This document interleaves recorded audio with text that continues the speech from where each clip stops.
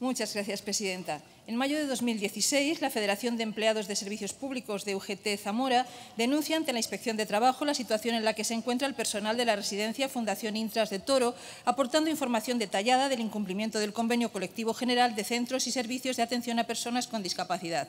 La Inspección de Trabajo en mayo abrió en consecuencia a la Fundación Intras un expediente sancionador en materia laboral y un segundo expediente en diciembre al detectar cinco contratos en fraude de ley, entre otras irregularidades. Los descansos diarios y semanales no se cumplen, el calendario anual que ha de establecerse antes de finalizar el año no se ha publicado aún, les alteran la jornada laboral sin respetar la máxima de cinco días de antelación, no se cubren las bajas por enfermedad, vacaciones o despidos, se encomiendan tareas tanto a educadores como a cuidadores que nada tienen que ver con sus funciones, como limpieza de pasillos o lavandería, además de soportar un trato vejatorio y de amenazas por parte de sus superiores. Se les impone también asumir funciones de catering para una empresa externa, Z Jones Catering, cuya responsable, curiosamente, es la propia directora de la residencia. En junio, FESP UGT Zamora denuncia la situación en la Gerencia Territorial de Servicios Sociales tras comprobar, una vez revisado el convenio de colaboración entre la Gerencia y la Fundación Intras, que no se cumplen las ratios establecidas en él. Según convenio, debe de haber ocho profesionales por día en la residencia sobre una ocupación de 20 plazas. En la residencia de Toro hay una media de seis para atender a 42 usuarios, que no olvidemos son personas con discapacidad por enfermedad mental grave y prolongada, para cuya atención serían necesarias, según convenio, 16 personas. Por si no fuera suficiente trabajo, los mismos seis profesionales que atienden diariamente a 42 usuarios en la residencia tienen que hacerse cargo también de los 19 que viven en los pisos tutelados. Llama alarmantemente la atención al revisar los cuadrantes que a veces haya solo un cuidador para 42 usuarios en el turno de noche, de 12 a 6 de la mañana. El turno siguiente entra a las 8 y media, por lo tanto hay un periodo de dos horas y media en la que los enfermos están solos en la residencia.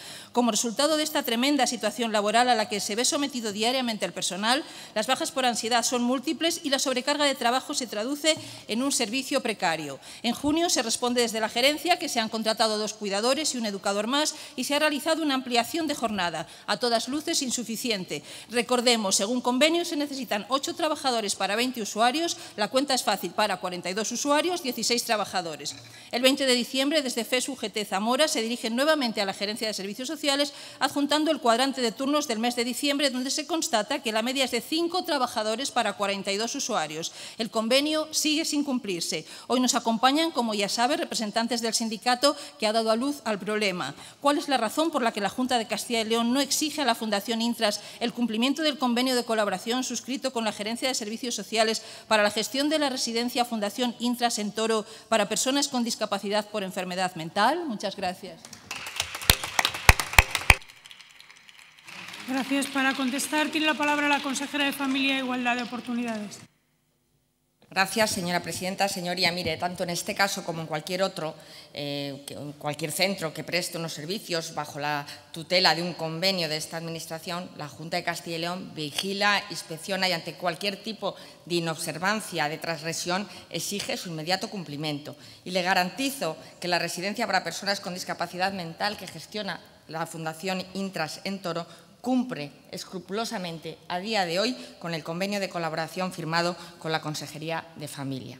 Mire, es un convenio que, como usted sabe, que, respecto a la, que afecta eh, en parte a la plantilla de personal, que ha de mantener el centro y contempla dos fases que se encuentran recogidas en la estipulación tercera de dicho convenio. En la fase inicial, en la que el centro eh, se iría ocupando paulatinamente hasta llegar a una ocupación de 20 plazas, la plantilla de atención directa sería de tres cuidadores y un educador.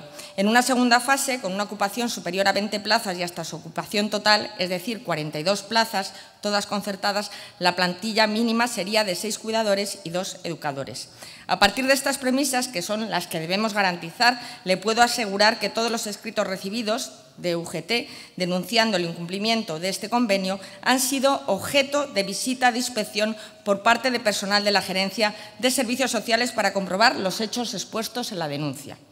El primero de ellos, usted ha hecho alusión a ello, fue en julio de 2016. En ese mismo mes el centro fue visitado por personal inspector de la gerencia y, se comprueba que aún trabajando un número de cuidadores y educadores superior al estipulado en el convenio, es preciso redistribuir los turnos de trabajo, por lo que se solicita a la Fundación Intras su reorganización. El segundo de los escritos se presentó a finales del mes de diciembre, por lo que el centro se vuelve a visitar con personal de inspección y en esta visita de inspección se concluyó, porque así consta en el acta, que el centro no incurría en ningún tipo de incumplimiento que vulnerase el convenio suscrito y consideró adecuada la plantilla de la, que disponía el centro. Es más, se valora incluso positivamente por parte de los técnicos la corrección realizada por el centro en cuanto a la reorganización de los turnos de trabajo a partir de la última visita realizada por el personal de la gerencia. Por último, se hacen una serie de precisiones que a día de hoy han sido subsanadas por parte de la Fundación Intras.